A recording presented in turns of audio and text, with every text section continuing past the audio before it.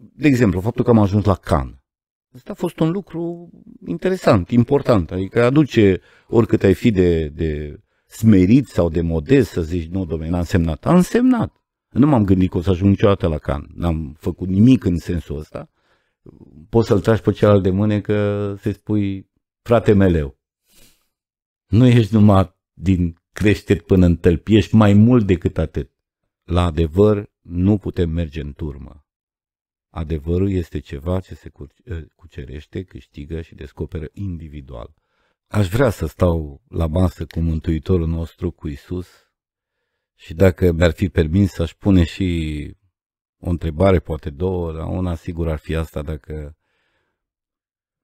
oamenii care vorbesc în numele Lui în acest moment, indiferent de unde se revendică, ă, ne arată drumul lui sau drumul lor. Cine e ținut minte? Noi avem senzația și ne aruncăm în vot, nu te vom uita niciodată. Vom păstra așa. Se uită lumea, suntem așa niște apariții. E 50-100 de ani acolo. nu, nu te ține nimeni minte. O întrebare simplă, pe care dacă ai pune-o acum într-o dezbatere publică, probabil că românii s-ar revolta. De ce facem educație?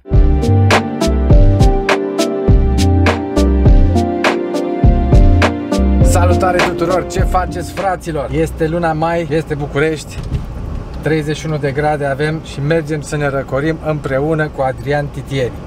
Da, Adrian Titieni, cel care a jucat în serialul Vlad, a jucat în serialul Umbre, uh, Vlad, în serialul Vlad. No. Da. Știi că foarte mult zic că, băi, el a jucat în Vlad. A jucat vreodată cineva în tine?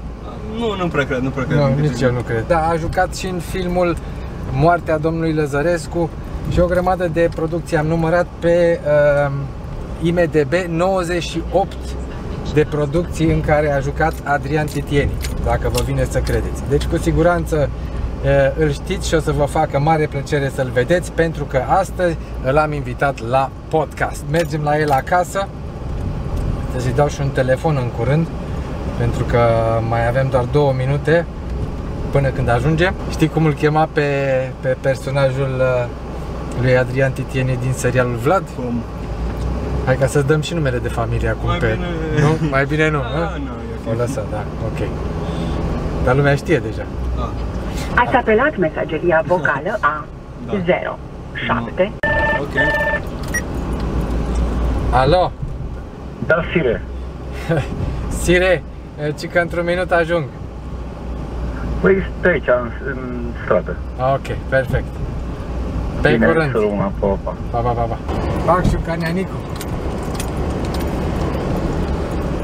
Bine ai venit în patrie. Long time no see. Bucuros de vedere. Și eu mă bucur. Ce faci? Bine? Mulțumesc, asemenea. Suspect de bine? Uh, da. E, las că vă, vă povestim noi. Ce să fac? Te așteptam, vă așteptam. N-am întârziat. Nu, nu. El este Vlad Eu sunt Adrian. Bună ziua. și trebuie Ziua. să mai luăm niște microfoane, chestii de astea, ne spui tu? Păi Sau, hai. uh, Încotro? Da? Păi chiar uite, acolo e ușa. Încă o dată salutare tuturor, ce faceți? Fraților, uh, am făcut o introducere deja din mașină, nu credeai uh, că te las neintrodus uh, și voiam să te întreb dacă tu știi că ești la 98 de producții făcute până în momentul de față. Am aflat și eu de curând. Da? Cel puțin așa spune IMDB-ul. Așa zice. Da. Deci mai, Să-l credem pe cuvânt. da? mai ai două. Care a fost cea mai frumoasă experiența ta? Din, uh, Nedreptățesc, mă nedreptățesc și nedreptățesc, să zic, cea mai frumoasă experiență mea, pentru că toate au avut câteva uh, lucruri uh, interesante care merită păstrate în memorie, dar uh, au fost așa, de amploare. Până la urmă, cea mai importantă producție a fost Bacalaureat cu domnul Cristian Mungiu și sunt multe care mi-au rămas uh, în memoria afectivă cu spectru pozitiv. Dar hai să ne oprim la asta. Ok. Despre serialul Vlad. da, el e Vlad. Dar nu despre el e vorba, uh, ci despre... Acolo ai jucat în 14 episoade, nu? Da, Uh, personajul tău s-a numit Iordache. Iordache. Okay. Uh, cât de drag ți-a fost personajul ăla sau cât de mult ți-a intrat uh, sub piele, ca să zic așa? Eu sper să nu fi intrat deloc. Nu? nu. Acum, e extraordinar de incitant să ai de face cu personaje negative, ele sunt spectrale, au irizație, ajung mai repede uh, în preferințele publicului. Un personaj complex. Uh, inițial am fost surprins de distribuire, dar în același timp uh, mi-am dat seama că surpriza trebuie să fie obligatoriu una plăcută pentru că m-am confruntat suficient cu personaje pozitive. Uh, cele pozitive sunt mai puțin uh, nuanțate, subtile, astea negative au posibilitatea să se contrazică, să meargă pe o sinusoidă plus-minus, vezi un personaj negativ care face un gest bun într-o anumită situație, e surprins. Pozitivul nu își permite să greșească, pozitivul se duce tot în zona respectivă, cu alte cuvinte, poți înțelege înainte vreme că tot ce va face el va fi sub semnul ăsta al binelui, al pozitivității. Acum, fără îndoială că personajele negative au funcția și rolul lor și cât pot mă strădui să îl conving pe receptor că ceea ce face Iordache nu e bine. Ceea ce face Iordache e și din normă. Ceea ce face Iordache n-ar trebui practicat. Mi-a plăcut uh, Iordache și uh, multă lume am fost surprinsă că vede dincolo de ceea ce putem numi personaj.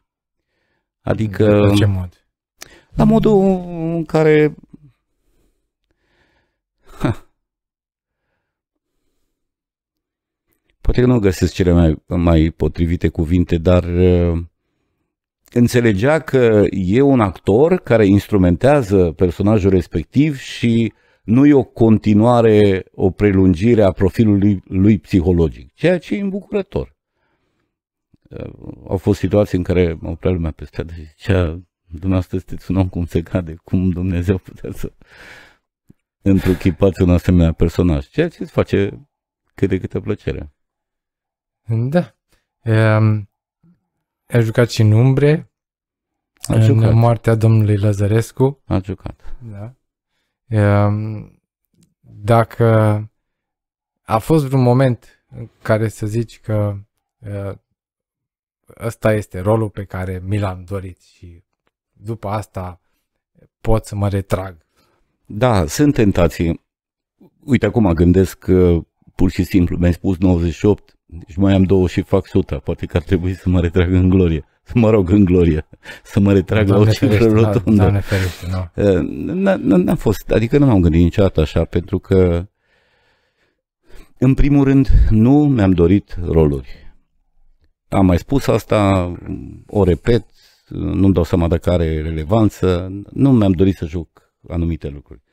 Viața a venit peste mine cu tot felul de oferte interesante, provocatoare, mi-au plăcut, de unele m-am atașat puternic, uh, pe unele n-am știut uh, să le concertez atât de bine încât să mă ridic la înălțimea așteptărilor celor care m-au distribuit, dar n-a fost niciun moment în care să zic că după asta închid. Aștept să fiu provocat în continuare dacă, dacă se va întâmpla. Dacă nu, asta e viața. Deci nu mi-a trecut prin cap uh, povestea asta să închid. Dar acum, dacă mi-ai dat temă, o să mă gândesc și te sun și spun. Nu asta era ideea.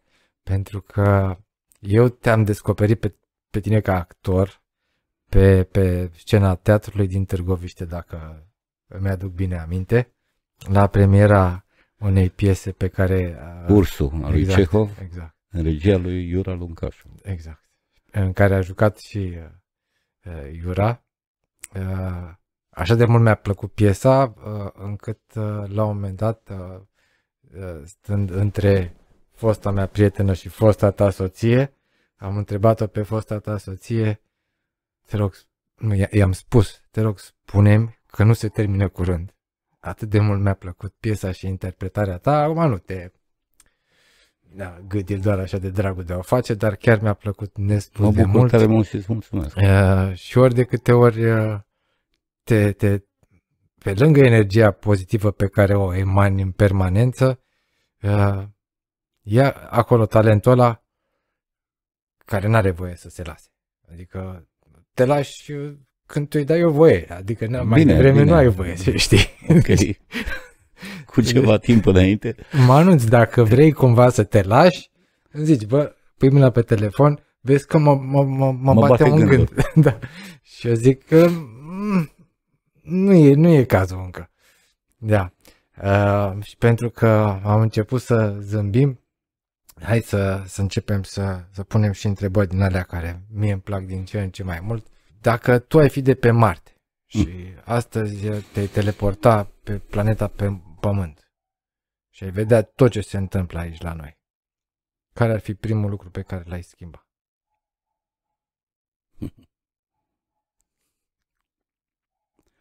Acum, pământenii au conștiința faptului că pe Marte nu există viață. Dar dacă totuși ar exista marțieni, cei pe care îi tot pomenim, sigur că și ar avea o viață socială, viață. Eu cred că orice fel de apropiere de Terra uh, te pune în condiția asta extraordinară și fericită să vezi că e o dinamică a vieții. E un lucru absolut extraordinar pentru că dacă ne gândim la lună, nu se întâmplă nimic. Nu există viu sub multiple și diverse forme. Ori noi ne-am obișnuit cu asta. Poate că n-ar fi trebuit să ne obișnuim. Un marțian care vine și vede ceva nou își dă seama că e un conglomerat, un, un viu care are legătură chiar dacă el e reprezentat prin individualități, specii diferite. Și cred că pentru asta aș milita, să înțeleagă oamenii că aparțin vieții, viului și că indiferent că ești musca aceasta care ne-a populat arealul și ne strică intimitatea sau om, în, în spatele formei diferite e viață. Și asta trebuie apreciată. Acum, dacă intră în amănunte și marțianul ăsta, eu fiind, își poate da seama cât de absurd suntem în uh, ideea în care am stabilit convențional graniți, diferențe religioase, ideologice, politice și că e un permanent și perpetu conflict uh, pe baza unui tip de uh, ideatici, uh, valori diferite. Aș încerca să surmontez. Suntem fiecare dintre noi unici și repetabili, dar în același timp aparținem, asta e, asta e diferența specifică, aparținem unui gen proxim. Și este viu, viața. Știința în momentul actual a stabilit că e un, un tot. Viu este un tot, cu legături pe care nu le putem vedea, nu le putem înțelege, ele pot fi într-un fel sau altul detectabile, dar noi nu avem conștiință, avem conștiința separării. Și atunci, marțianul din mine, în colaborare cu cei mai uh, extraordinari oameni de știință care au ajuns într-o zonă, ar încerca să inducă oamenilor uh, faptul că ar trebui să aprecieze viața care le-a fost dată, care e valoare supremă, să o aprecieze, să o respecte și să-și găsească într-un fel sau altul resursa bucuriei în însăși condiția de a fi. E greu, e foarte greu pentru mulți dintre noi, mai ales în momentul în care trebuie să te apuci să alegi după bani, să supraviețuiești, să... E adevărat, da, e foarte greu, dar în același timp nici nu avem formalizată nevoia asta. Adică nu e o școală care să-ți spună că tu ești mai mult decât individul care se reflectă în oglindă, Uh, Noi promovăm competiția, ceea ce e un lucru cât se poate de absurd. Asta nu face altceva decât să De ce? conflictualizează. Competiția Păi da, e și- cu noi înșine. A, fără îndoială că sunt Există și domenii... progres datorită Ai competiției. perfectă dreptate și nu te pot contrazice, dar uh, e o competiție pe temă, nu e o competiție între individualități. Eu sunt mai bun decât tine, eu sunt mai deștept decât tine, eu sunt mai, mai, mai, mai, mai, mai. Aici, după părerea mea, eu fac lucruri mai bine decât tine. Asta e invederat. De exemplu, dacă ne-am apucat acum să facem o supă de pui cu găluși, sunt convins cu toată modestia de care sunt capabil că o fac mai bine ca tine. De ce? Pentru că am exersat asta. Dacă îmi dai o rachetă de tenis și pornim uh, o competiție, o să te abții să nu râzi la fiecare minge pe care nu o să reușești să o trec fileul. Ai văzut că în urmă cu o lună s-a ajuns 100 de metri în 9,1 secunde, acum în 7,3. Exagerez, habar n-am, nu știu, dar e, din pricina competiției am ajuns la asemenea tip de performanță în toate domeniile. Eu mă refeream la o competiție nefirească și neloială între indivizi, care se întâmplă încă din școala uh, primară. A e mai bun decât B, B e mai bun decât C și până la urmă îți extrai satisfacția din pricina faptului că altul e mai slab decât tine, generic vorbind. Adică lumea etichetează și legitimează comportamentul unui individ într-un grup ca fiind mai bun decât al altuia. Poate fi mai bun, dar uh, putem să avem o discuție cât se poate de nișată, dar nu poți să-i pui o etichetă generică, să spui uh, elevul cu tare. tu mă înțelegi, la o competiție nefirească, acolo unde abilitățile genetice nu sunt pe același palier în școală.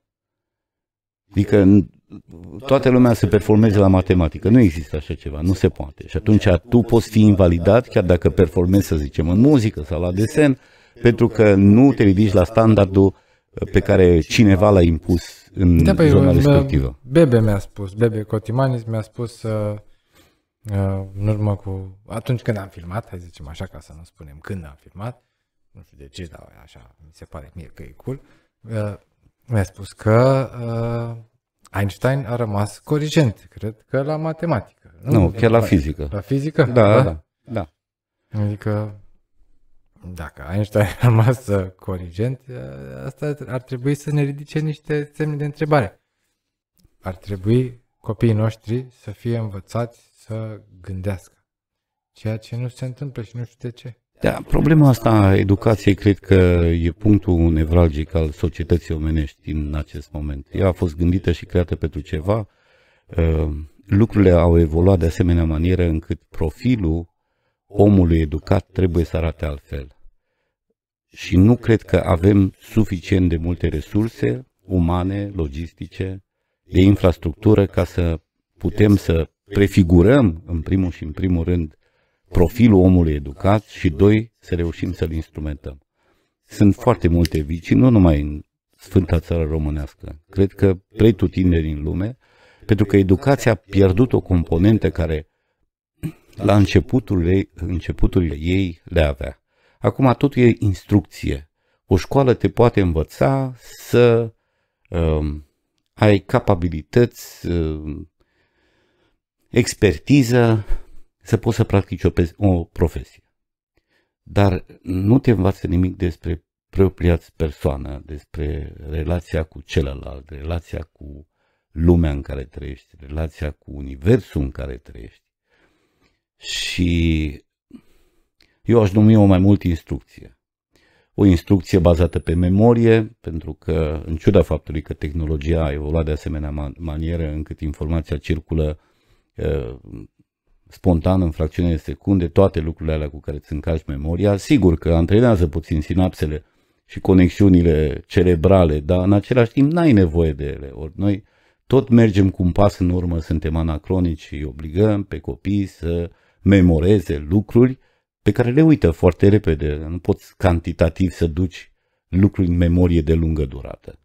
Ai perfectă dreptate, copiii ar trebui să uh, uh, învețe să gândească, să facă intelige- inteligente conexiuni între domeniile pe care le abordează în procesul învățării, dar mai mult decât atât ar trebui să înțeleagă relația între gând, emoție, atitudine și acțiune, să le poată pune într-o ecuație împreună, pentru că uh, gândirea e uh, fragmentară, adică e fragmentară, e fragment din ceea ce reprezintă ființa umană. Avem emoții, avem acțiuni care stau la și care, mă rog, uh, nu vreau să dezvolt acum, dar sunt într-o uh, legătură nemijlocită și într-un act de interdependență. Gândirea, emoția, atitudinea, acțiunea. Ori dacă pe astea le-am putea gestiona, lucrurile ar arăta cu totul și cu totul altfel. Uh, nu avem profilul omului educat. Acum, dacă întrebi ce încercăm noi să obținem, uh, tot insist cu asta și probabil că am mai spus. Suedezii, uh, finlandezii au încercat să facă un sistem de educație mai bun decât al suedezilor. Le-a ieșit cel mai bun sistem din lume până în acest moment. Dar au pornit de la două lucruri. O întrebare simplă, pe care dacă ai pune-o acum într-o dezbatere publică, probabil că românii s-ar revolta. De ce facem educație? De ce facem educație? Cum, domnule, de ce facem educație? Păi nu știm. Poate că știm, dar poate că nuanțăm. Până la urmă, de ce facem educație? A doua întrebare importantă este cum arată profilul omului educat? Ce vrem să obținem? Ce vrem noi să obținem după 12 clase, după 3 ani de licență, 2 ani de master, alți 3 ani de doctorat? Intrăm în politică dacă, dacă răspundem la întrebările astea, nu? Și 3. Cum operăm ca în parcursul celor, să zicem, 12 ani, 20 de ani de școală, profilul omului educat să fie atins? În primul și în primul rând avem nevoie de educatori, de oameni care să fie capabili să facă așa ceva. Dacă vrei să înveți pe cineva curajul, recunoștința, ă, respectul, trebuie să ai profesori care, odată conținând aceste lucruri, le pot într-un fel și altul disemina, adică le pot împărtăși. Acum se pare că sintagma om uman ă, este dezideratul sau mai degrabă scopul. Cam așa ar mhm. trebui să fie un uh, profil omului educat. Un om uman, un om cu empatie, un om cu compasiune, un om cu abilități care poate veni în sprijinul celuilalt în, pro- în propriul lui sprijin, pentru că trăim într-o societate, uh, dacă ne gândim bine, uh, regi și conducători de acum un secol și jumătate nu se puteau bucura de privilegiile de care se bucură un simplu cetățean al Terei în acest moment. Deci e un well-being aproape negândit. Trăim bine, dar nu suntem fericiți. Nu suntem fericiți, suntem în dezacord, în disarmonie, în conflict, pulverizați, enclavizați, uh, ultra-reactivi, sensibili la noi înșine, Doamne ferește să mă jure unul în trafic, dar insensibili la viață. Adică am pierdut reperele astea simple. Uh, sigur că da, uh, e, e complicat de concertat, dar probabil da. că asta cu educație e un lucru super important. Și... E un, sub, uh, un lucru super important pe care am senzația că foarte multe guverne, nu, nu mă refer numai la al nostru, îl ignoră cu bună știință. Îl declară ca fiind prioritar. Deci dacă te uiți la discursul fiecărui om politic, are pe to-do list povestea cu educația. Păi și de ce? Hai să acum pe bune. Nu e mai ușor să controlezi un prost decât să controlezi unul care gândește? Da, acum aici intrăm într-o, într-un alt uh, tip de teorie, dar de ce ar fi nevoie ca cineva să conducă pe altcineva? Pentru că problema e următoarea. O educație bună îți dă și dimensiunea autodisciplinei. Uh, vine cu etica la pachet, poate chiar cu morala, îți înțelegi rolul și funcția în societate. O educație bună. O educație bună înseamnă în primul și în primul rând inteligență. Înseamnă adecvare. Înseamnă că ajung în condiția de a deveni autonom fără ca să am pretenții exagerate, deci elimin probabil lăcomia uh, sau nevoia de a subjuga sau uh, nevoia de conflict ar fi multe efecte colaterale pozitive, benefice, multă plus valoare în social dacă am avea o educație puternică. Să nu uita că ăștia care ne conduc pe noi abia știu să scrie. orice cetățean care trece pe stradă ar putea să, dacă îi dai un costum și îl aranjezi, din orice zonă a capitalei. Și nu numai a capitalei. Poate să fie și de la Iași, poate să fie și de la Timișoara, poate să fie din orice oraș. Ar putea să ia locul în orice secundă ăluia. Lucian, Și le-ar fi și mai ușor dacă ar fi și mai deștepți. ai dreptate, dar sunt unii oameni politici ultra inteligenți. Am văzut și asemenea Dar majoritatea profile. sunt proști. Dar și cei inteligenți, lipsiți de emoție, compasiune, empatie și viziune care să-i cuprindă pe ceilalți, sunt la fel de, de ineficienți sau uh, disfuncționali. Pentru că până la urmă a fi în slujba cetățeanului, indiferent de gradul tău de cultură, informare, uh, școală, e o chestiune de atitudine. Adică un om simplu, dacă pornește la drum cu ideea că ar putea să ajute comunitatea și n-ajunge în condiții respective să se ajute pe sine, deja e un lucru fantastic. Și sunt Cât la sută din cazuri crezi că se întâmplă chestia asta? în foarte puține cazuri, dar o educație coerentă. Eu zic așa, că lumea suferă din uh, două sau trei pricini. Unul e dragostea neîmpărtășită. Doi, o, faptul că dorim să fim în permanență altcineva decât ceea ce suntem și oameni nepotriviți în locuri nepotrivite. E plină, cel puțin uh, Sfânta Țară Românească e plină de oameni nepotriviți în și culmea e că își doresc să fie în locurile nepotrivite, ori eu cred că e un supliciu, e un chin să fii într-o zonă în care n-ai competențe și totuși vrei uh, să existe acolo în încercarea de a depăși propria incompetență, habar n-am. De asta e grav și flagrant. Crezi în fericire? Crezi în fericirea absolută? Aici, pe pământ? Da, de multe ori când uh, abordăm subiectul ăsta care e din ce în ce mai la ordinea zilei, lumea zice fericirea e percepută subiectiv, uh, ce înseamnă fericire pentru mine nu e același lucru uh, pentru tine, dar totuși cred, cred, vreau să cred, insist să cred, că experiența asta absolut extraordinară eu în urmă cu 59 de ani n-am existat. Acum exist. Probabil conștient de la 4-5.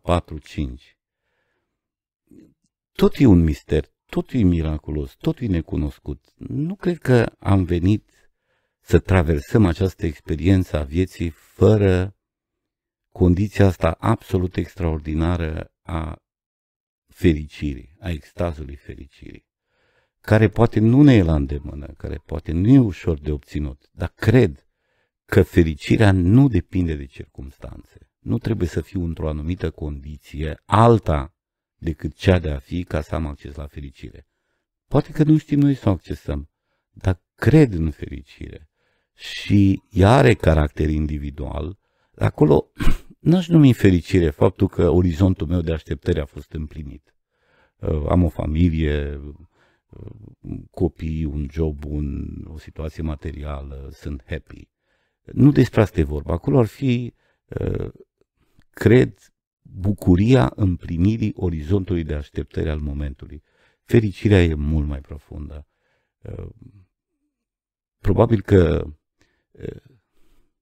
extazul pe care îl trăiești în momentul orgasmului e așa o, o mică sclipire a ceea ce ar putea să fie uh, fericirea în adevăratul sens al cuvântului. Și cu riscul de a mă repeta, ea nu e dependentă de circunstanțe.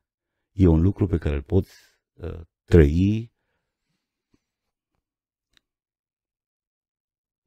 aliment, alimentându-te din însăși faptul că existi. Vreau să cred asta. Nu uh, vorbesc acoperiți, nu știu, dar tind către această condiție. Cu alte cuvinte, răspunzându-ți la întrebare, da, fericirea ar trebui să existe, ne e dată. Eu nu mai știu ce filozof, unul dintre ei, spunea la un moment dat, că ai două variante de a privi lucrurile. Ca și cum totul este banal sau ca și cum totul este un miracol. Sadhguru, cred. A spus povestea asta, poate citând pe altcineva, dar da, Um, dacă reușești să privești totul ca și cum este un miracol, poți să te bucuri și de nenorociri până la urmă și să, să fii oarecum fericit. Dar uh, dacă ești pe partea aia în care vezi că totul este banal, că totul ți se cuvine, că totul este uh, așa un dat, uh, atunci nu cred că ai șanse să, să, fii, să fii fericit. Ar trebui, așa cum mi-a zis mie o tanti de curând, să te trezești dimineața și să-i spui uh, lui Dumnezeu, Creatorului, spune cum îi vrea, mulțumesc că sunt în viață și că am ocazia să fac lucrurile astea. Da. E obvious că așa. Adică pe planetă se întâmplă tot felul de lucruri. Mâine dimineață se trezesc mult mai puțin decât uh, ne culcăm în seara asta. Deci, cu alte cuvinte, faptul că mai ai bucuria unei zile, a unei săptămâni, a câtorva ani, e o bucurie pe care ar trebui să o asumi. Și ai posibilitatea de a face N lucruri, adică poți să faci da. atâtea lucruri. Bine, acum depinde foarte mult de ce vorbeam mai devreme, de cât de bine te-au pregătit în clasele primare, în școala generală, în liceu, facultate și așa mai departe și pe mâna cui ai încăput. Uh, pentru că dacă ai stat cu burta la soare și ai făcut doar patru clase primare și ai împins la vagoane, o să fie mult mai greu decât... Uh... E adevărat, dar până la urmă uh, ce uh, spui tu are mare importanță, relevanță, dar în uh, spectrul ăla de abilități pe care școala ți le dă, ar trebui să fie și asta cu introspecția.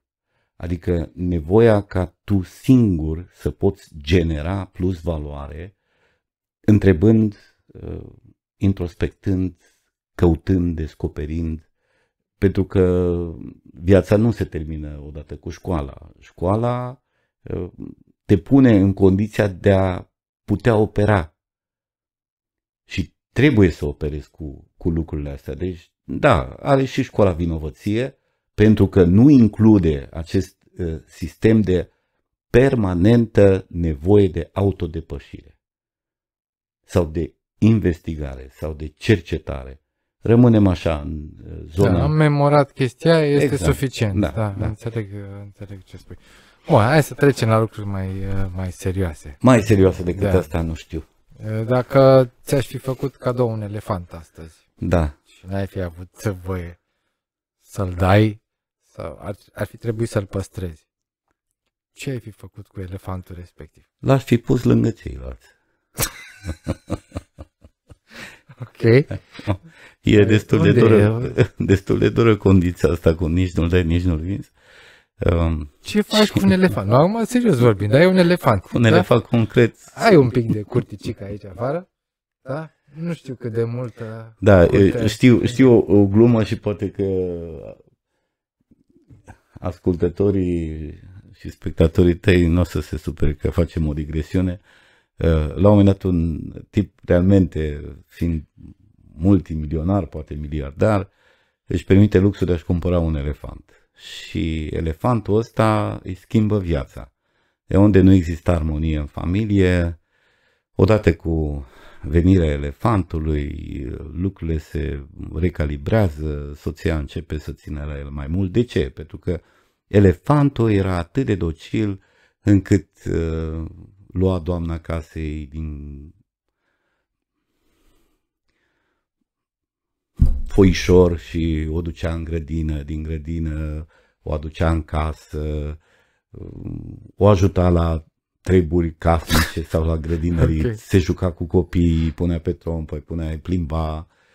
Deci, pur și simplu i-a schimbat viața. Prietenul lui vine și zice, băi, tu chiar ai nevoie să luat un elefant? Domnule, zice, ăsta nu e elefant, ăsta e un înger în trup de elefant. Mi-a schimbat viața, uite, mă înțeleg cu soția, copiii sunt perfecți.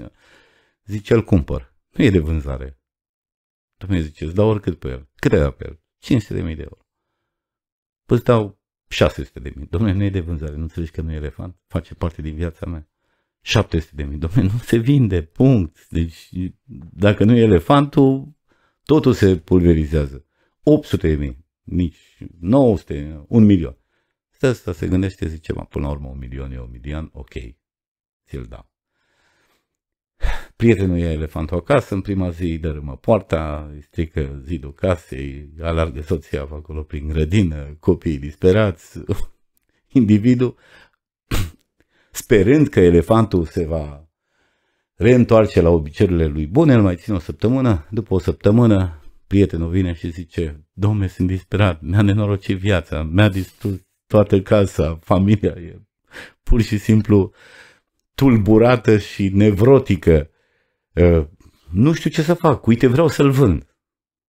Primul proprietar zice, cu o asemenea strategie de marketing, nu cred că ai șanse. Corect. Cu alte cuvinte, eu știu ce să zic, ce aș face cu un elefant. Uh,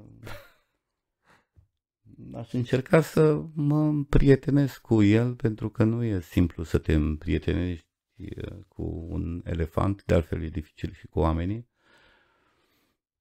Am încercat să conviețuim dacă nu e cale de ieșire. Nici nu pot să-l dau, nici nu pot să-l vând. Ce iese din ecuația asta relațională, pot să spun după o săptămână sau o lună. Dar până atunci uh, o să încerc să descoper nevoile lui, pentru că sunt absolut convins că el nu va încerca să descopere nevoile lui. Da, l-ai, l-ai face un film, un documentar. Ah, cu fără el. îndoială că l-a și postazia, dai seama, ar fi plin Instagramul, că e singurul cont pe care l-am de poze cu elefantul. Prin deducția lumea va înțelege că e al meu și că e în București și că e în cartierul meu, sectorul 2. Și probabil că voi avea și foarte mulți vizitatori. Da. Ce să spun? Și Ah, multe prietenii de circumstanță sau de conjunctură. Sunt prieten cu ăla care are elefantul. Nu-i puțin un lucru. Corect. Pare rău că nu ți-am adus un elefant, sincer să fiu. Mm, Nu ți-ar fi fost atât de simplu în tuaregul pe care îl posezi. Trebuia Da. să fie foarte mic. Și nici ăla foarte mic n-ar fi încăput. Sau Poate- Poate... foarte mare. Da. Ok, să zicem că asta cu elefantul dăm la o parte. Uh, și uh, ne gândim la următorul scenariu. Ești pe stradă, găsești uh, pe jos un uh, bilet de loterie, duminica sau când se face extragerea, constați că ai avut șase numere câștigătoare. Un milion, 10 milioane de euro. Da? Ai câștigat 10 milioane de euro la, la loto. Ce faci cu banii? Acum, sunt șanse să nu mă întâlnesc cu biletul. Și de ce? Și dacă îl văd și dacă vreau să-l iau, nu prea mă pot apleca. Da, să presupunem că rog pe altcineva să mi-l aducă aproape. Și uh, am 10 milioane de euro la purtător. Îți dai seama, cred că toți uh, am avut uh, fantasme, ca să nu zic uh, ne-am jucat cu imaginația dacă am avea foarte mulți bani, ce am face cu ei. Ceea ce e neacoperit la necesități de bază cu certitudine, respectând uh, dimensiunea egocentrică a fiecăruia dintre noi am acoperit. Dar cu, cu restul banilor, cred că, uite așa, din glumă, ajung într-o zonă cât se poate de serioasă și de mare interes pentru mine. Eu cred că aș face un centru de cercetări educaționale sau chiar aș încerca să creez mi se pare atât de important, vital, vital. Fac o paranteză. De multe ori în discuțiile informale, inclusiv cu studenții, zic, mă bucur că m-am născut mai devreme. De ce? Nu mai înțeleg lumea în care trăiesc. Din multe puncte de vedere. E greu de supraviețuit în social. E greu de a fi onest cu tine însuți, apropo de opinii, apropo de atitudini,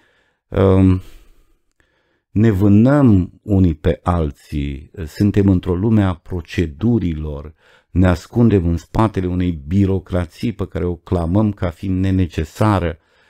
Mă rog, probabil că nu astea sunt cele mai importante lucruri pe care aș vrea să... Dar pulverizarea asta, atomizarea, enclavizarea excesivă, conflictul permanent, nu prea e o lume în care să trăiești. Cred că educația a rezolvat acest, această chestiune. Aș investi cu gândul că nu sunt bani aruncați, adică ar putea fi multiplicați prin emulația pe care ar crea-o în, în generațiile actuale și prin faptul că lucrurile descoperite acum ar putea să aibă relevanță în 2, 5, 7, 9, 20 de ani. Cred că asta își face cu banii. Și bineînțeles, o vodcă mică. Adică nu ți-ai luat un Ferrari, nu ți-ai luat Nu, și n-am tu fost un... pasionat, n-am fost Da. pasionat și acum, realmente, dacă m-aș pune în condiția asta, deci e, sub uh, caracter de jurământ, eu cred că lucrurile uh, sunt făcute pentru a-și împlini funcția pe care o au. Nu mi-aș lua niciodată o mașină care să depășească nevoia de a mă duce dintr-un loc în altul, de a fi confortabilă, de a fi... Nu mi-aș lua un Ferrari. Asta nu înseamnă că uh, cei care își iau Ferrari sunt greșiți. E scopul lor de viață, e uh, atingerea orizontului de așteptări, e ceea ce îi bucură, îi împlinește. Nu m-ar împlini. Eu să știu că am un Ferrari în fața porții, nu, nu mi-ar trans... Din potrivă, întreținere, uh, faptul că e joasă. Ți-am spus că nu mă pot aplica să iau biletul de loto, dar minte să mă urc într-un Ferrari. De urca mă urc cum urc, dar cum cobor din el. Adică, na, sunt lucruri pe care nici tânăr nu mi le-am dorit. Spre deosebire de alții din familie, care și le doresc, dar uh, nu, nu, nu cred în, în, în povestea asta. Ziceam, fericirea uh, are o, o zonă a autonomiei, nu ești de, depinde de circunstanțe. N-aș fi mai deștept, mai bun, mai uh, bucuros, uh, fericit și împlinit dacă aș avea asemenea lucruri. Dacă tot vorbim despre lucruri materiale și nu numai. Um, ești fericit? Eu, Da, în momentul ăsta. uh, împlinit, nu știu dacă puteam să fac mai mult decât am făcut, uh, poate că regret următorul lucru, uh, și anume că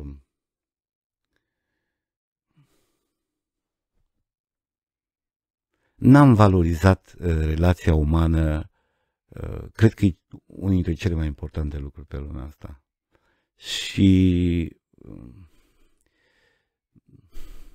nu-mi dau seama cât de multe relații valoroase am în acest moment, pentru că se apropie, deci suntem pe pantă descendentă. Nu-mi dau seama de cum. ce zici pe pantă Păi descendentă? acum ce fi la 60 de ani, undeva aproape de vârful. E, Eu, eu am Am avut 60 un de ani. elev, eu am avut un elev uh, la, care avea 92 de ani. Dar nu știu ce face acum. adică s-a Dar eu îmi imaginez acum, sincer, că este cu om, se dă cu ferrari Da, și, cred, și cred. care vreo 3-4 gagici care îl așteaptă. Una ar Da. fi suficient, oricum la Lividia, toți vecinii. Unul ar fi suficient ca să, să dea colțul. exact, da, să se apropie. Da. Dar uh, nu pot să spun că sunt nefericit. N- N-aș putea să spun, așa cum înțeleg eu fericirea, e o condiție pe care o caut, o cercetez, nu, uh, n-am experimentat-o și n-am trăit-o, dar uh, mulțumesc lui Dumnezeu, sunt împăcat cu ceea ce am, cu ceea ce am făcut, cu ceea ce Când sunt. te-ai simțit cel mai bine? Hai să o luăm așa, ca să nu zicem fericit. Păi, cred că te simți bine așa când tot puzzle-ul ăsta capătă cât de cât uh, contur. Am,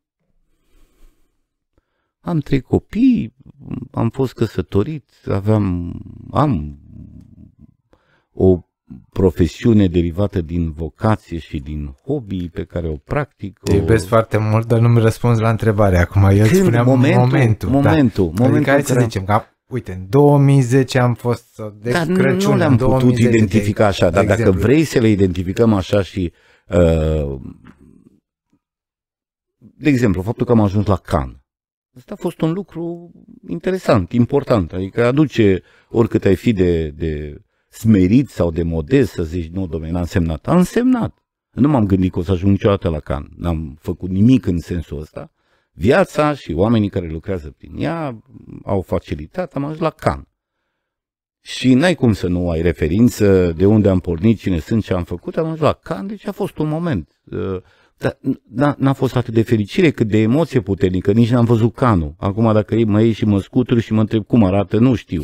N-am văzut eu care sunt addicted apă, n-am, n-am văzut, adică eram așa într-o abulie e născută dintr-o emoție firească, dar uh, nefiresc trăită, că aveam totuși 50 și un pic de ani. Te ia așa puțin de cap, te ia valo. A fost un moment fericit. Momente fericite, dacă e să respectăm o ierarhie, au fost când s-au născut cei trei copii, de fiecare dată că au fost sănătoși, uh, la naștere, deci uh, vezi, astea normale și firești le uităm. Dar așa pentru uh, audiență a fost o, o, o bucurie, a fost un moment fericit, am simțit că lucrurile au căpătat cât de cât uh, relevanță, contur și legitimare. Ok. Nu ești mulțumit cu răspunsul. Altul n-am. nu, asta cu canul mi-a plăcut. Da. Mi-a plăcut asta cu, cu canul și mai ales uh, faptul că ai spus despre copii. La fel cum uh, de fiecare dată pun întrebarea respectivă, după ce am pus întrebarea asta, vine cealaltă întrebare. Mm. De- Când a fost cel mai nefericit. Exact.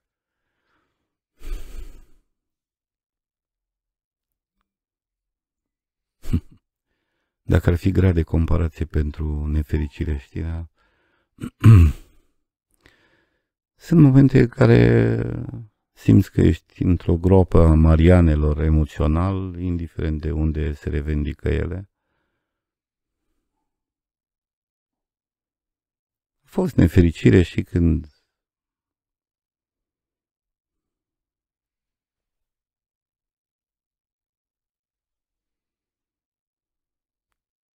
nu știu să spun.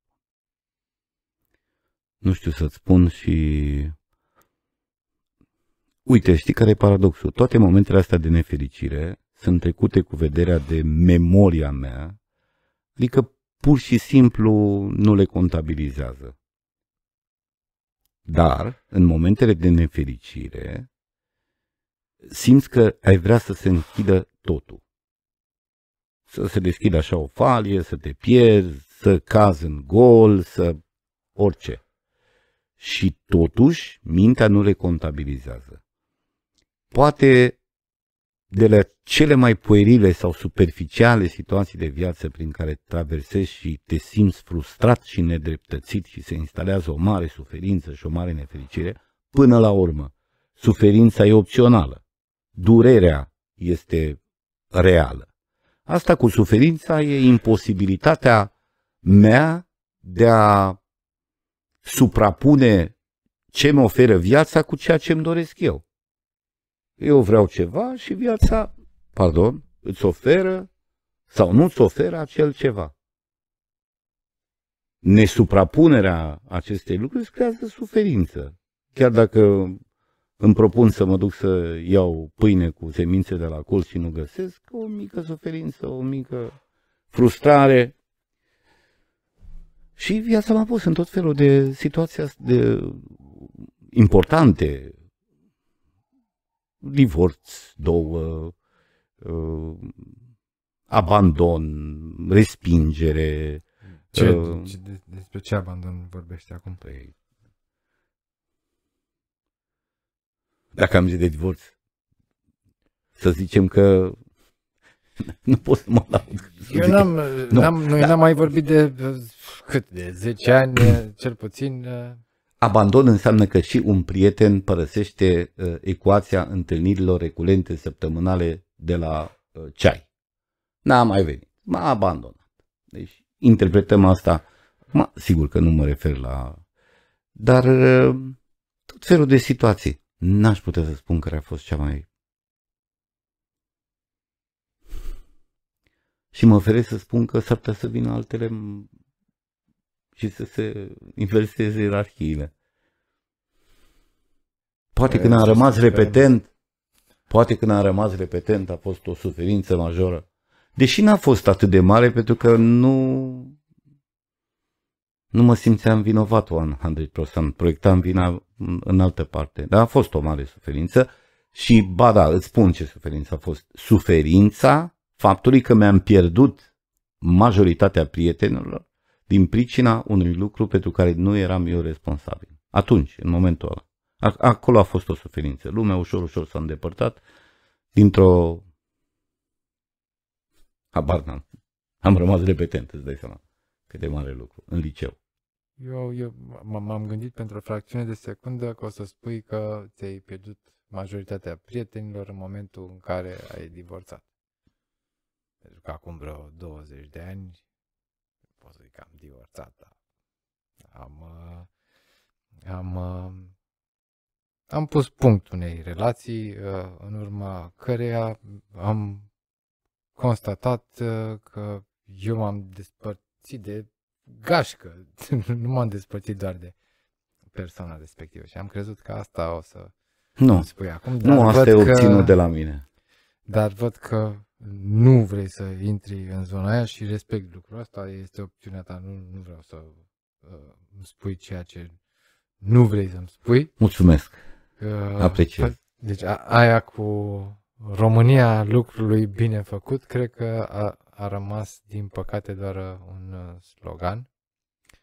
Uh, Dar, să știi că de când m-am întors uh, uh, în țară, uh, mi se pare că lucrurile s-au schimbat totuși uh, în bine. Și eu Ce? zic la fel.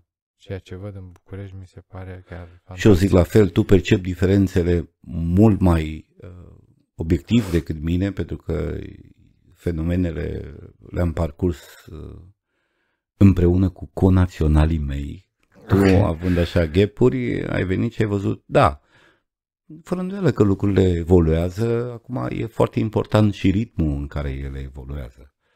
Uh, Oamenii pot face să ardem etape, adică să ne întoarcem la basmul românesc care spune prâslea creștea într-o zi cât alții în zece. Nu suntem în condiția aia. Noi creștem într-o zi cât alții probabil în Probabil că era Prisler. Zici, mă, prâslea, na. Dar, într-adevăr, lucrurile s-au schimbat și e, din multe puncte de vedere, e bine. Din alte puncte de vedere, eh, pare să fie din ce în ce mai rău. Aici nu e vizibil și mă refer la relații umane, relații instituționale, relația individului cu instituțiile. Astea nu sunt în regulă. Politici naționale, etc., etc. Nu știu unde vom ajunge, în acest moment se pare că suntem în pragul unei crize pe care tot felul de vizionari sau știu eu, oameni de știință o prevăd.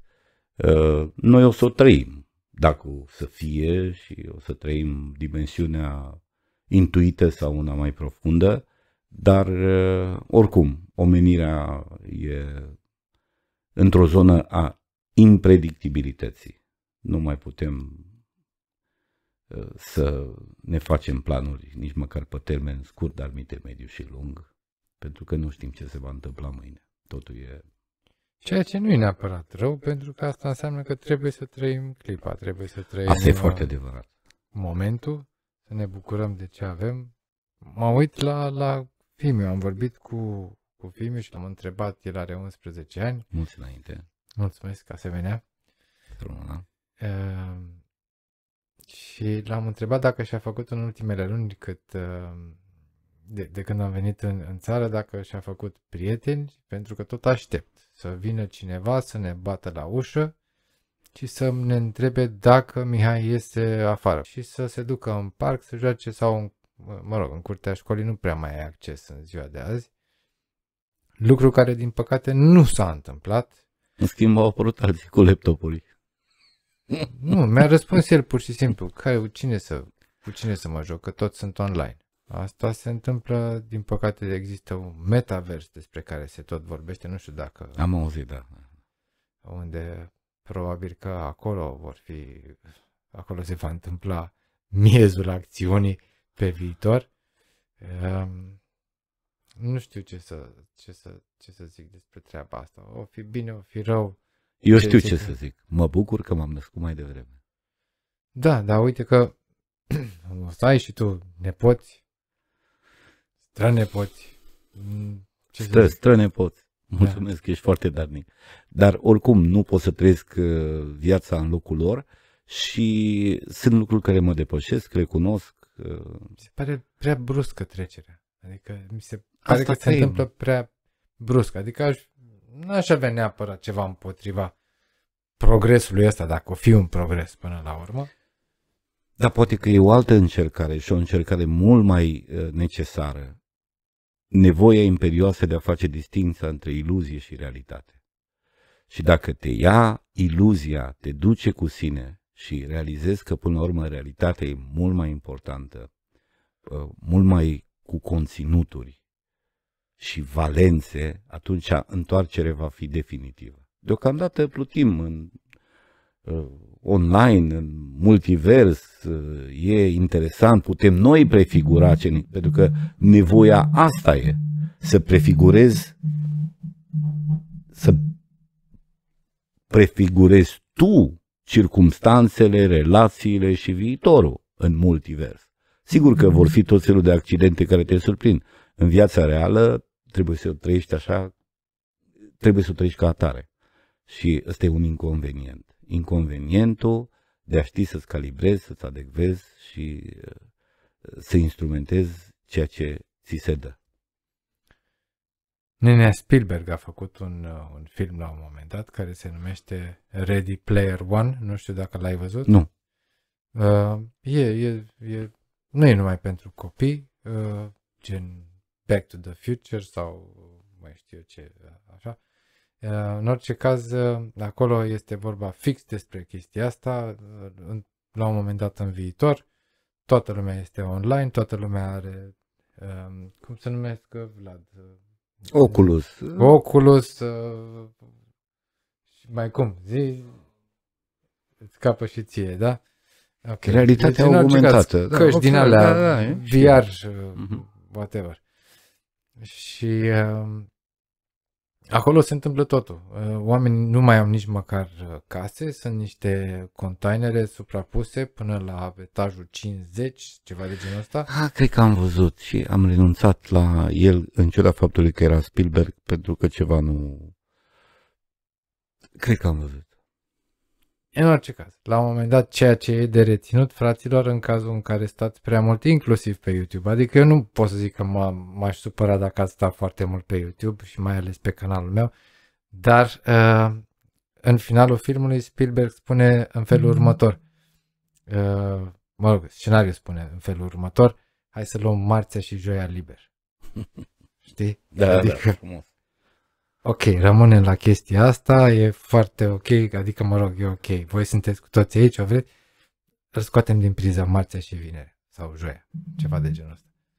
Și ceea ce uh, voi n- nu ați prins vremurile noastre despre care încercam să încercam să creionez o, o oarecum o, o situație pe care noi am trăit-o când eram mici, pentru că am văzut un interviu cu tine la, la Gherila în care spuneai foarte frumos despre șotronul și despre Mhm. paradis, așa cum îl, Mhm. îl numeai tu. Știe cineva ce e la șotronul? Dintre ăștia care știi ce e la șotronul, Vlad? Jură-te că știi ce e la șotron. Ok. Și oricum, a aflat de pe Google. Bun. Da. E, da. Șotronul, vați ascunselea, multe alte chestii de genul ăsta la care fiul nu știe ce, cred că hoții și vardiște sigur nu știe ce e. Așa că, da, mi-aș dori să iasă din ce în ce mai des din casă, ceea ce mi-e greu, din ce în ce mai greu, mă cert cu el, dar, mă rog, asta este direcția. O să iasă bine. Da. E bine să ne expunem copiii la cât mai multe lucruri și exact așa cum ziceai și tu, să vedem unde strălucesc. Acum vine o întrebare care Mm. mie îmi place la nebunie. Mm. Uh, Dacă ai putea să iei cina cu trei celebrități care sunt în viață sau nu, care ar fi acele?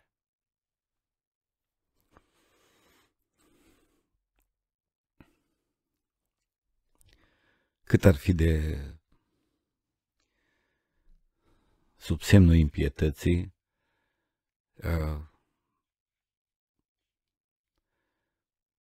aș vrea să stau la masă cu Mântuitorul nostru, cu Isus, și dacă mi-ar fi permis să-și pune și o întrebare, poate două, dar una sigur ar fi asta, dacă oamenii care vorbesc în numele Lui în acest moment, indiferent de unde se revendică, uh, ne arată drumul Lui sau drumul lor. Pentru că e foarte important ca cel care spune eu sunt calea și viața, deci sumumum de lucruri, fiul, nu tatăl, uh, să aibă purtători de cuvânt uh, atât de firavi, atât de uh, Aș vrea să întreb asta. De asemenea, nu l-aș ignora pe Shakespeare. Mi se pare că... Să vezi dacă a scris el sau nu. După Biblie, Că nu tu cred. cunoști opera, Da. mă rog, celui care s-a semnat cu numele asta. Rămân la ideea că e opera unui om vizionar, comprehensiv, holistic în abordare, cult, inteligent, cu un soi de abordare cu totul și cu totul specială. Toate profilurile psihologice se regăsesc în opera shakespeariană, relații umane, situații de viață, povești, e, e ceva absolut incredibil și mi-ar făcea plăcere să respir alături de el pentru o cină. Al treilea ar fi Krishnamurti. Uh, Krishnamurti este un înțelept al vremurilor noastre care fusese identificat drept reîncarnarea lui Isus Hristos după modelul uh, indian a celor care cred în reîncarnare. Uh, a, a devenit președintele Ordinului Stelei, un ordin care avea o rețele în toată lumea. Era ceva absolut incredibil. Să ne gândim așa sau să facem o referință cu rețeaua masonică. Și el, în vârful acestei ierarhii, a avut puterea să o dizolve și să spună la adevăr nu putem merge în turmă. Adevărul este ceva ce se cucerește, câștigă și descoperă individual. Cu alte cuvinte, a lăsat câteva inimi frânte, o doamnă care făcea parte din conducerea Ordinului Stelei, cred că s-a sinucis, pentru că, dincolo de nevoia de a disemina spiritualitate și înțelepciune, era și o chestiune bazată pe foarte mulți bani și putere generată din acest tip de posesie. Și e singurul om care a avut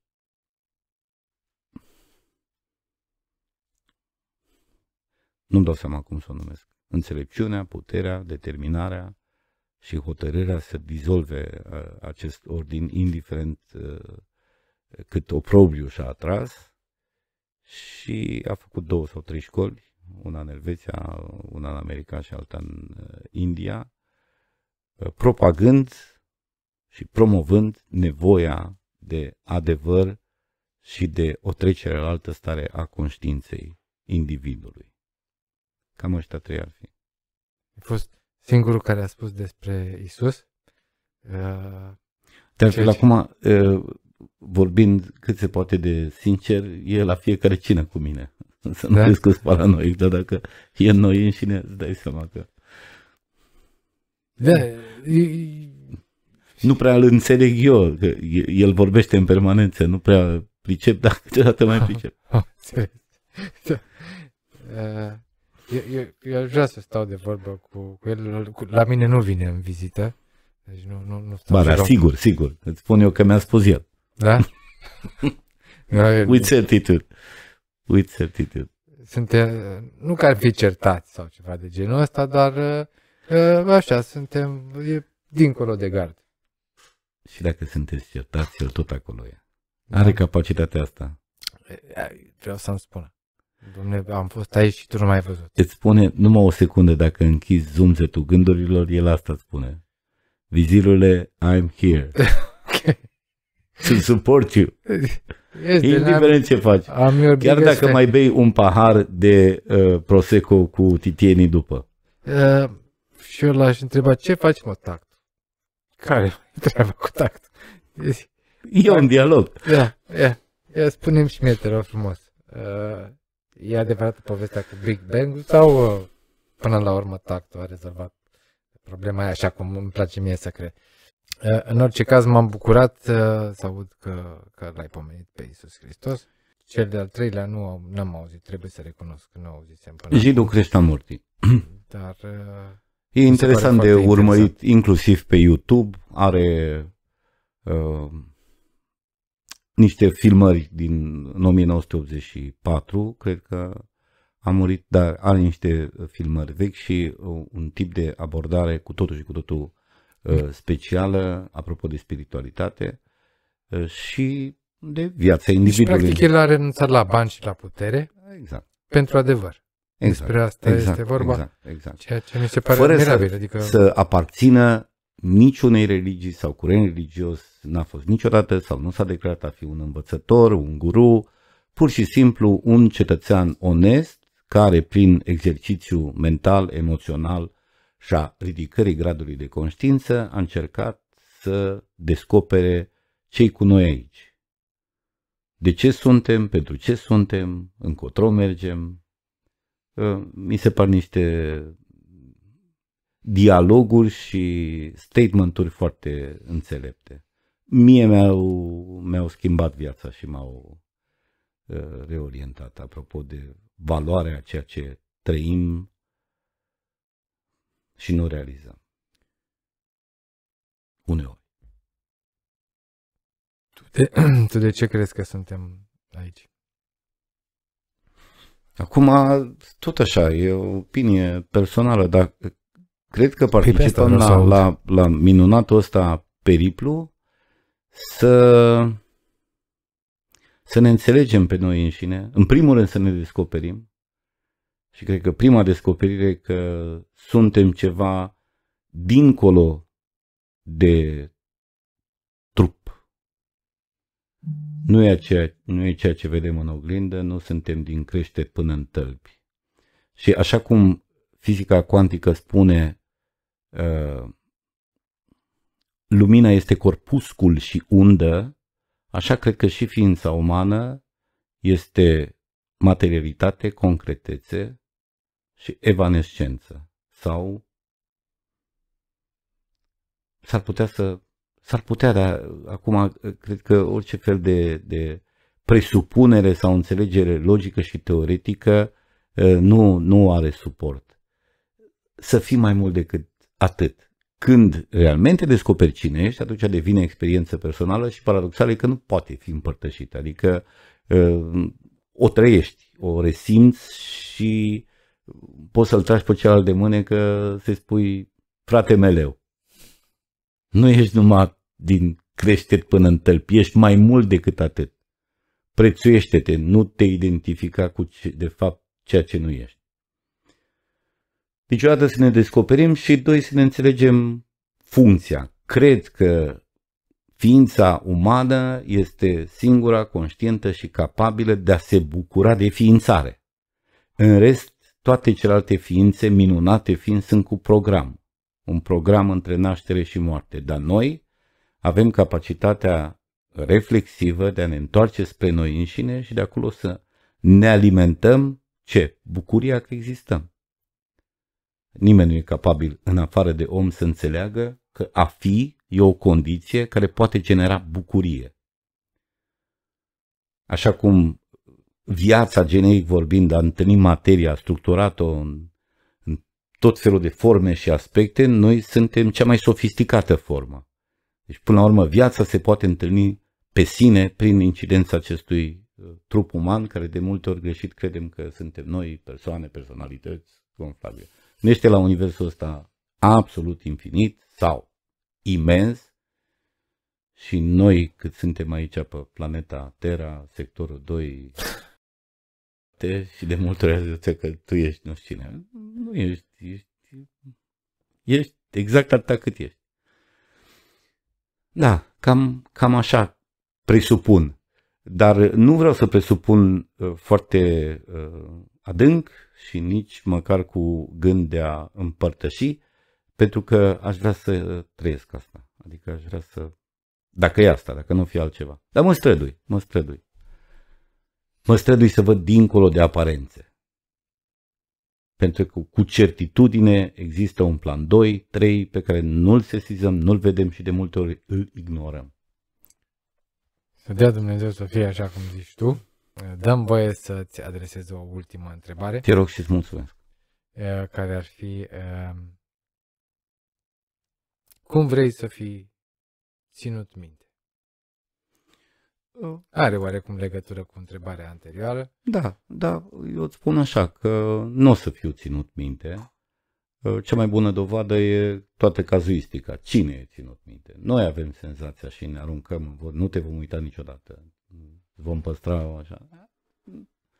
Se uită lumea. Suntem așa niște E apariții. măcar pe vreo un- 50-100 de ani acolo. nu, nu te ține nimeni minte. Și e, cum, cum aș vrea? Exact așa cum am fost perceput. Nu vreau să induc nimic. Cum percepția individuală e subiectivă, uh, am intrat în incidență cu enorm de mulți oameni și, uh, și asta ne oferă contemporaneitatea. Probabil că în urmă cu un secol uh, oamenii cu care interacționăm noi într-o zi, alții interacț- interacționau într-o viață. Și nu mi se pare exagerată comparația. Uh, Am interacționat cu mulți studenți, cu mulți colegi, cu public. În măsura în care cineva mă va ține minte, vreau să mă țină minte exact așa cum m-a perceput, cu amănuntul faptului că am străduit să fac bine și rău la nimeni. Nu știu cât am reușit. Da. Uh, Cam așa. Nu am, nu am nimic de spus. La Nu chestia te-a asta. mulțumit răspunsul meu. Ba da. Dar nu, eu- eu nu- sunt convins nu că- există, nu- nici nu căutam să fiu uh, mulțumit de răspunsul tău, ci pur și simplu vreau să văd cum, uh, sau să aud uh, de la Că tine lumea uită. ce- Lumea, lumea uită și nu mă amăgesc cu faptul că rămân... Până la urmă, dacă stăm să fim onești și să ne gândim la uh, oameni pierduți, foarte apropiați, rămân puțin în memorie, după care memoria se apără și șterge. Și oameni care au schimbat destine și cursul istoriei și sunt puși la index, oricum nu mai sunt. Nu, n-am Da, N-am pretenții. ceva cu siguranță lasă în urma Da, lor. fără îndoială. Fiecare dintre noi lăsăm ceva, chiar și atunci când nu ne dăm seama. De Adevărat. aceea vă rog frumos să dați un like pentru că nu strică și chiar să vă abonați la canalul meu pentru că o să vă apară în curând iconița aia rotundă cu fața mea și încă două clipuri pe care le puteți eh, vedea în continuarea ăstuia. Ehm, Eu îți mulțumesc foarte, Eu foarte îți mult mulțumesc. pentru că ne-ai primit la tine în casă și că am stat de vorbă și că am ciocnit un pahar de Prosecco Ehm, și sper ca lucrurile pe viitor să-ți iasă așa cum îți dorești. Și eu sper ca revenirea ta în țară să fie pe măsura așteptărilor. În orice caz, mi-ai mai creat o mare surpriză și o mare bucurie. Am concertat foarte, foarte puțin, nesemnificativ, într-o discuție cu fratele tău la filmare. Am zis, poate îl convins să se întoarcă în România. Uh, Fără... Și uite că mi-ai oferit această surpriză că te-ai întors. Mă bucur că faci ceea ce faci și ceea ce probabil uh, ascultătorii, urmăritorii tăi Și nu știu că ascultătorii, Așa. Uh, și mă bucur că putem relua o relație de prietenie întreruptă de uh, depărtarea între est și vest. Trebuie să-ți uh, mărturisesc și cu asta am, am, uh, am de gând să închei, că atunci când eram acolo îmi spuneam foarte des că mie nu-mi lipsește România, că nu... Abia când m-am întors aici și când uh, m-am uitat în ochii multora, uh, inclusiv în ochii tăi, și uh, mi-a dat seama cât de mult mi-a, mi-a lipsit uh, țara mea. Vă mulțumim frumos că v-ați uitat Și eu vă mulțumesc. și vă pupăm, ne vedem săptămâna Și viitoare. ție, Vlad, Bine. îți mulțumim. Vlad, Vlad Rules. Sperăm să iei bacul. Mai are un pic. Mai, mai mult, cum puțin. Almost. 3, 2, 1, good night.